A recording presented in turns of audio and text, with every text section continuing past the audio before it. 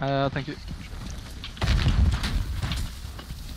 Skal dere sitte og snipe, eller hvordan er Ja, for jeg kom nå. Jeg hiver et ammoboks, jeg, for de som uh, trenger det.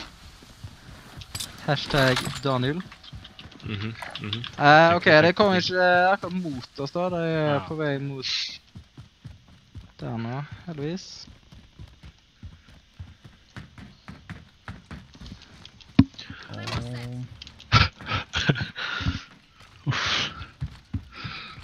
Ja, uansett, Jeg skal begynne å kalle dette tårnet for Andreas-tårnet.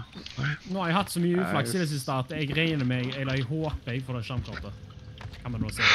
Og hvis det er sånn som du sier, at det er mer av det enn Jo, men det Oi, det er ute i fjellet. Ah, fuck me, da! Og du sitter nede i en kjeller. Men uh, boys, skal vi.